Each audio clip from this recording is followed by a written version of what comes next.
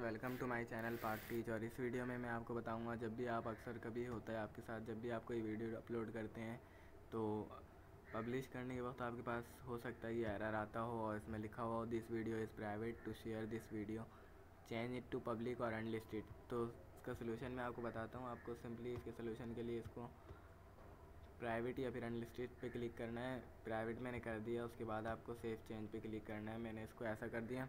अब आप बोल होंगे, ये तो प्राइवेट हो गया, अब तो ये हमारे व्यूअर्स नहीं देख सकेंगे तो अभी परेशान मत होइए। अभी इसका भी मैं आपको सोल्यूशन बताता हूँ। अब आपको सिंपली न्यू टैब खोलना है।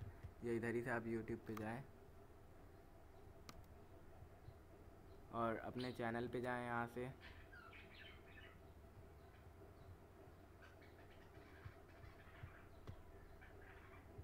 मैं अपने चैनल पे आ गया हूँ यहाँ से। अब आपको जो है क्रिएटर स्टूडियो पे क्लिक करना है सिंपली क्रिएटर स्टूडियो पे मैं इधर क्लिक करता हूँ।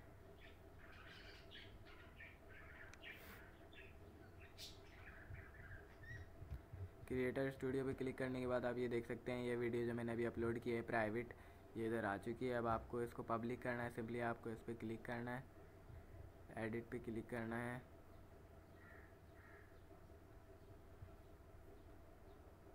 और यहाँ से प्राइवेट सिलेक्ट हुआ हुआ है, आपको यहाँ से पब्लिक पे सिलेक्ट चेक करके जो है, यहाँ से पब्लिक पे सिलेक्ट कर देना है और यहाँ से फिर दोबारा सेफ़ चेंज पे क्लिक कर देना है।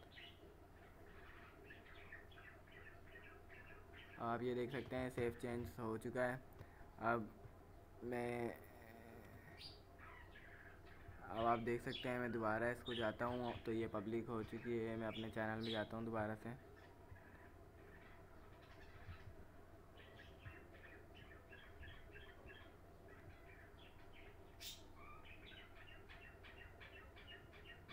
मैं क्रिएटर स्टूडियो में गया अपनी वीडियो को देखने के लिए।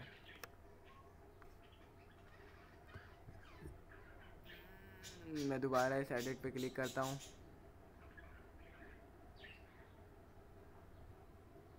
तो आप ये देख सकते हैं, यहाँ पे पहले से पब्लिक सिलेक्ट हुआ हुआ है। इसका मतलब ये है कि आपकी वीडियो जो है पब्लिक में पब्लिश हो चुकी है। तो इसको मैं सिंपली एक्सेप्ट कर देता हूँ और अब आपकी वीडियो जो है अपलोड हो चुकी है यूट्यूब पे। आप चाहें तो अपनी किसी दूसरी आईडी से या फिर अपने किसी कज़न के मोबाइल से जो है सर्च करके अपने चैनल पे देख सकते हैं कि ये वीडियो पब्लिक हो गई है। तो दोस्तों, आज के लिए इतना काफ़ी। अगर हमारी वीडियो अच्छी लगी हो तो हमारे चैनल पार्क टीच को सब्सक्राइब ज़रूर करिएगा और वीडियो को लाइक करना मत भूलिएगा।